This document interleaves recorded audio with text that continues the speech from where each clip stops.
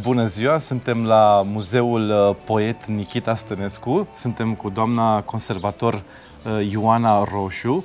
Bună ziua! Bună ziua! Ce găsim la acest muzeu? Ce să găsiți? Amintirile lui Nikita. De-abia așteptăm să le vedem. Casa în care s-a născut, a crescut, s-a format ca om și viitor poet, bineînțeles. De unde începem? Haideți să începem uh, de la intrarea în casă. Vă invit. Da. Uh, casa a fost uh, construită în 1928-29 de către tatălui Nikita. Ok. Uh, tatăl era al nouălea fiu al stăneștilor. Oho.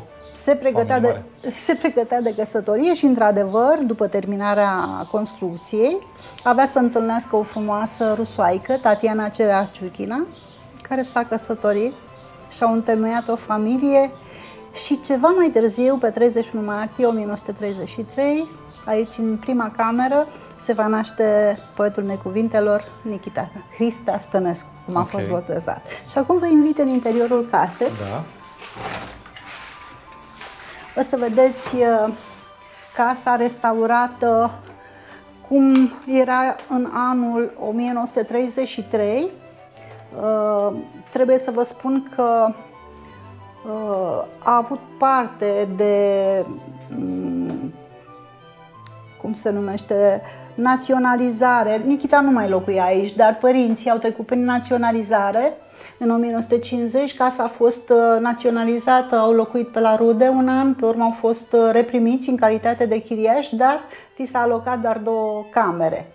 În această parte de casă a fost adusă o altă familie de chiriași. Uh, am avut norocul să o avem pe doamna Mariana, pe sora lui Nikita, în viață și Uh, aducând-o aici în 2002, uh, în anul în care am deschis noi Muzeul Memorial, să ne ajute să refacem atmosfera anilor 33. Ne-a povestit că Nikita s-a născut acasă, okay. mama fiind moșită de o moașă de cartier. Uh, toate obiectele sunt originale, dacă și ursulețul de pluș jucărie pe care dacă vă veți uita deasupra patului, într-un tablou, Nikita e cu el în spate, așa, undeva în fundal Ursulețul s-a mai decolorat în cei mm-hmm. 70-80 de ani care au trecut peste. Dar uh, v-am spus, am căutat să nu aducem nimic uh, nou, ci să refacem atmosfera din anii 33. Uh, este o cameră caldă, este o cameră uh, cu valoare memorialistică, pentru că chiar aici, probabil, primul, primul zâmbet, primul râs, primul plâns L-a avut aici. Da, l-a avut aici. Doamna Tatiana povestea, am cunoscut-o pe mama lui Nikita și povestea că într-adevăr era o zi de martie, 31 martie, o zi foarte frumoasă, călduroasă. Ei aveau uh, uh, flori în curte, dar aici, în dreptul ferestrei, se afla un liliac alb și care era înflorit în acea perioadă. Mai târziu, camera avea să se schimbe. Uh, Aici este camera lui de lucru, camera elevului. Vedeți că găsim uh, biroul de scris al lui Nikita, uh, cărți, cărți pe care le citea în adolescență. Am găsit chiar uh, dicționarul lui de rime și un dicționar francez. Vedeți că sunt iscălite de Nikita cu numele ambilor bunici, Nikita Hristea Stănescu. În adolescență, era în liceu, uh, mama s-a gândit să îi uh, facă favoarea de a-i crea un spațiu pentru întâlnirile lui cu prietenii, cu colegii de clasă, așa că uh, această, acest dormitor s-a transformat în sufragerie. Okay. Iar în seriile de sâmbătă, Nikita își invita prietenii apropiați acasă, le cânta la pian, le punea uh, muzică la acel pick-up, avea o colecție impresionantă de discuri Uh, erau așa zisele ceaiuri dansante. Tineretul din perioada respectivă în felul acesta se relaxa. Mariana spunea că de multe ori era afară, stătea cocoțată pe fereastră pentru că ea era cu 5 ani mai mică decât Nikita și nu era niciodată primită în cercul celor mari. Uh, vom trece mai departe din camera elevului Nikita Stănescu uh, printr-un hol din nefericire, mobilierul de hol nu a mai fost găsit. Ce am înțeles de la Mariana că holul undeva era plin de rafturi și rafturile erau tixite de cărți.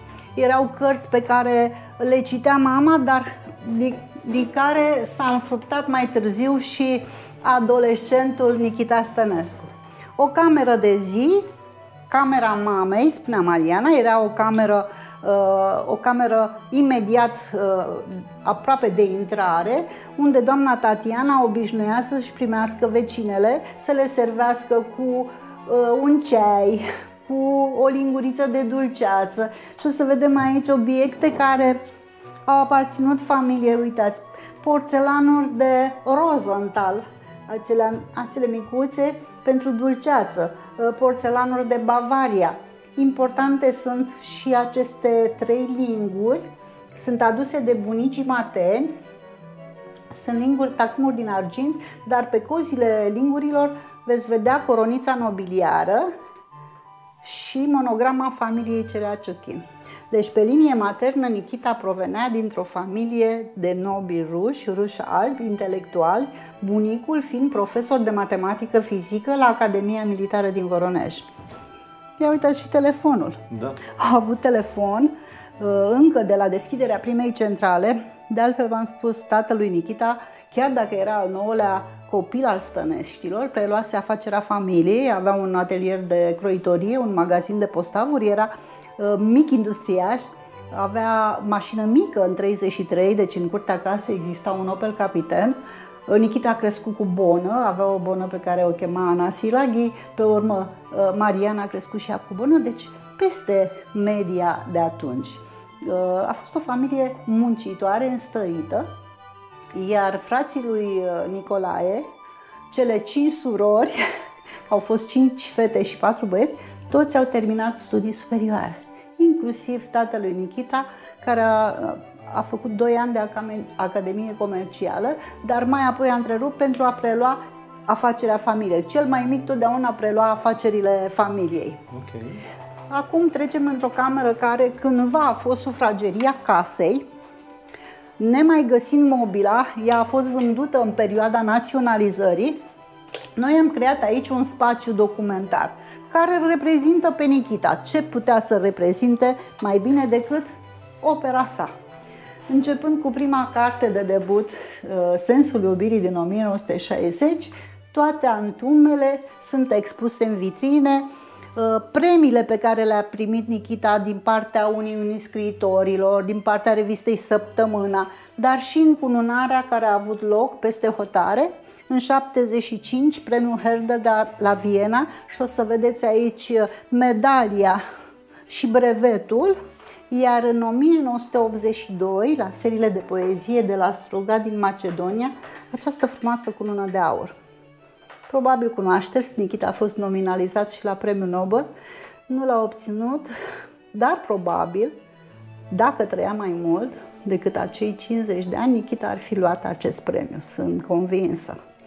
Uh, ce să vă mai spun? Aici intrăm în universul poeziei, dar cred că Nikita Stănescu este un poet atât de modern uh, ca și un pictor modern. Uh, poezia lui Nikita poate fi citită de cinci persoane și fiecare o percepe în funcție de nivelul de pregătire, de starea de spirit.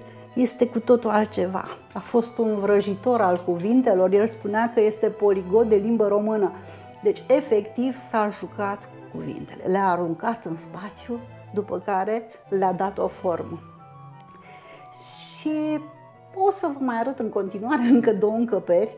Uh, trebuie să specific că în aceste camere a rămas familia Stănescu, deci respectiv în aceasta, următoarea, iar ultima cameră era camera de baie. Noi am modificat-o pentru că am primit de la sora lui Nikita cărți, cărți pe care ea le-a luat de acasă, de aici, le-a dus în București, unde locuia și le-a, le-a readus acasă.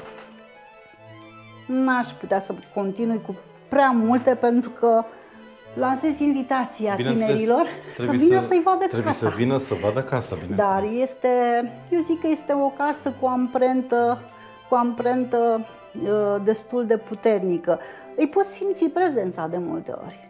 Copiii când vin, dacă la început sunt ușor gălăgioși, la un moment dat devin foarte ascultători și sunt surprinși să afle că Nikita a fost și el copil, că Nikita a făcut și el trăznăi când era mic, da. că Nikita a iubit enorm, că a avut trei soții, că a locuit într-o masardă cu o iubită și îl ploua.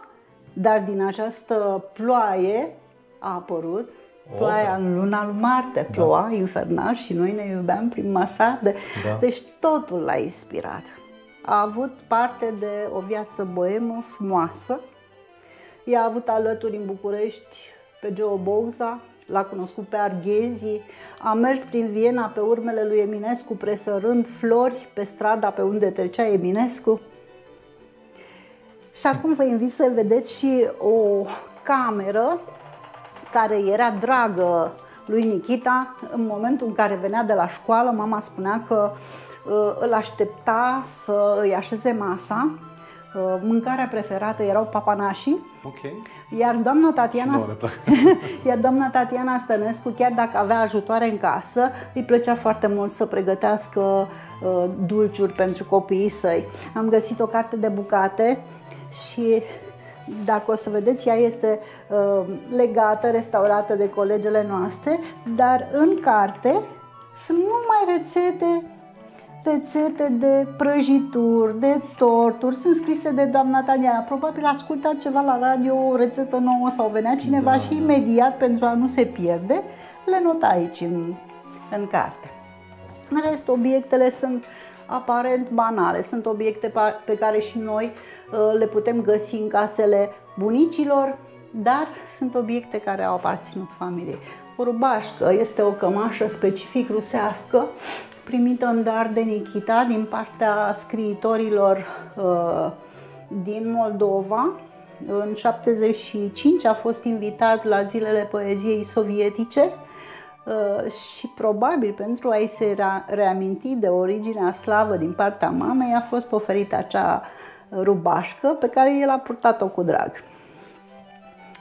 Ultima încăpere este o încăpere destinată cărților, destinată operei, uh, operei Antume în, uh, în vitrina din colț, ce a apărut după moartea lui Nikita sub regida Academiei, Uh, scoase de directorul Muzeului Literaturii Alexandru Condescu, care a fost fin lui Nikita, iar cărțile toate sunt aduse de la Mariana Stănescu, cărți care au plecat, v-am spus, din casă și care s-au reîntors. Din nefericire, Nikita nu a păstrat. El avea o vorbă, spunea, cartea pe care o ai nu este cartea pe care o ai la raft, este cartea pe care ai citit-o. Vă mulțumesc mult și pentru vă mulțumim. această uh, vizită. Noi am făcut toată, toată vizita aceasta pe repede înainte, dar vă invităm să veniți că sigur o să vă ia mai mult timp, vă puteți uita la, îndeaproape la tot ce am văzut noi. Vă mulțumim pentru, pentru invitație și pentru timpul acordat. Și eu vă mulțumesc pentru vizită și sper cu această ocazie să vină cât mai mulți tineri.